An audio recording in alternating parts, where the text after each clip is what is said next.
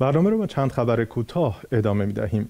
شیخ حسین ساعدی از اساتید و متخصصان علوم و مباحث اعتقادی در شهر نجف اشرف در روز دوم جمادی و ثانی سال جاری طی حضور در بیت مرجعیت و فقاهت در شهر مقدس قم با مرجع عالی قدر آیت الله العظما سه صادق حسینی شیرازی دیدار کرد. وی طی این اقدام گزارش از فعالیت‌های علمی، تبلیغی و فرهنگی خود به محضر مرجع عالی قدر ارائه کرد و از توصیه های ایشان بهرهمند شد.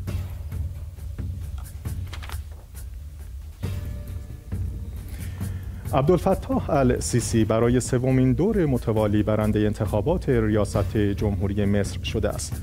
اسوشیت پرس به نقل از کمیسیون انتخابات مصر گزارش داده است که السیسی با کسب 89.6 دهم درصد آرا در انتخابات ریاست جمهوری این کشور برنده شده است. کمیسیون انتخابات مصر گفته است که 67 میلیون نفر در این انتخابات برای رای دهی ثبت نام کرده بودند و 66.8 دهم درصد آنان در این انتخابات شرکت کردند.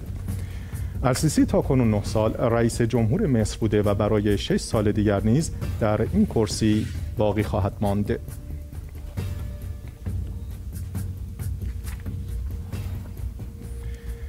بر اثر زمین لرزه مرگبار در چین بیش از 100 تن جان باختند و حدود 400 نفر دیگر زخمی شدند به گفته مقام ها آمارهای منتشر شده قربانیان ابتدایی بوده و احتمال افزایش آن وجود دارد به گزارش خبرگزاری فرانس پرس مقامات در ایالت گانسو در شمال غرب چین گفتند که زمین لرزه شب گذشته بیشترین تلفات و خسارات را به این ایالت وارد کرده است. این زمین لرزه در عمق 35 کیلومتری زمین رخ داده و مرکز آن ایالت گانسو اعلام شده است. اداره زمین لرزه نگاری چین شدت این زمین لرزه را 6 و دو دهم ریشتر اعلام کرده است. این مرگبارترین زلزله در سالهای اخیر در چین خوانده شده است.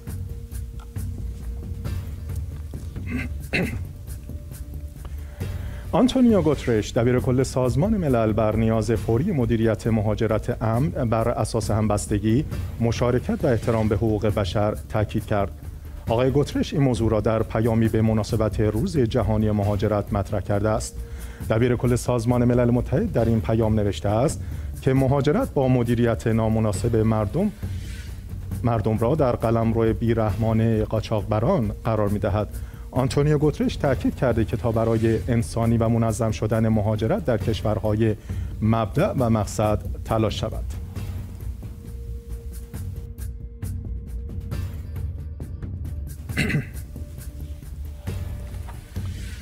سه خلبان ارتش پیشین افغانستان در پی یک سانه هوایی در ایالت اورگان ایالات متحده آمریکا جان باختند. این سه خلبان که علی جان فردوسی، بشیر صفتری و سید حسین موسوی نام داشتند. روز شنبه 25 آذر در حال پرواز با یک هواپیمای آموزشی بودند که به دلیل مه شدید هواپیمایشان با خطوط انتقال برق برخورد و سقوط کرد.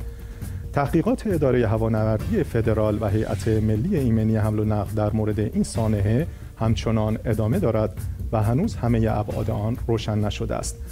مسئولان یک شبکه حمایت از مهاجران گفته مسئولان یک شبکه حمایت از مهاجران گفته این سه خلبان ارتش پیشین افغانستان پس از فروپاشی نظام جمهوری و تسلط دوباره گروه طالبان به آمریکا مهاجرت کرده بودند.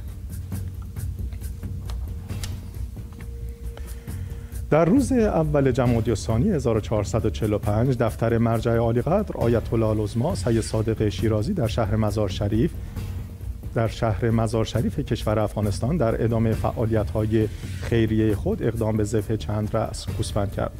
این اقدام به مناسبت ایام شهادت حضرت فاطمه زهرا سلام الله علیها و به نیت سلامتی و تعجیل در فرج حضرت ولی اصر عجل الله تعالی فرج و شریف انجام شد و گوشت حاصل از آن به دست دهها خانواده یتیم و نیازمند شهر مزار شریف رسید. اقدام مذکور با همکاری مسجد و حسینی آل یاسین از مراکز مرتبط با مرجعیت در شهر سیدنی کشور استرالیا صورت پذیرفت.